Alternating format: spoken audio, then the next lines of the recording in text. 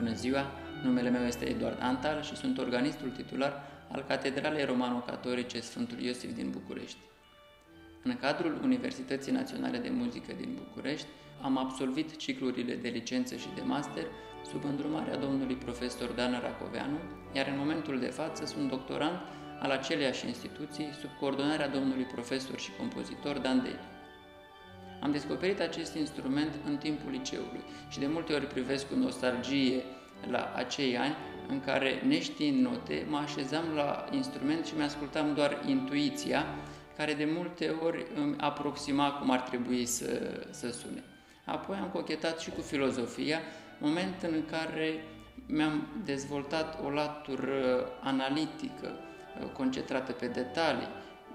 Acești ani m-au ajutat să-mi construiesc o percepție proprie despre viață.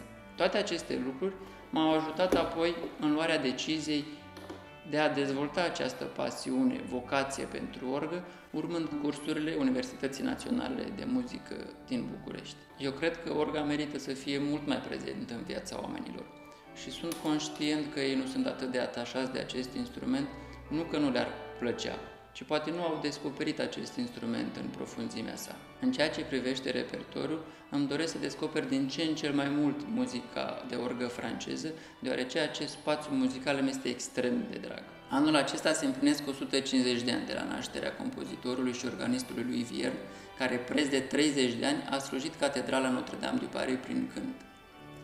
El este continuatorul tradiției pe filiera César Franck, Charles Marie Vidor, dezvoltând genul nou propus de aceștia, și anume genul simfonic. Acest compozitor, lui Vier, a creat șase simfonii pentru orgă. Din acestea, am ales să prezint expoziția primei, primei părți a simfoniei a treia în fa diez minor.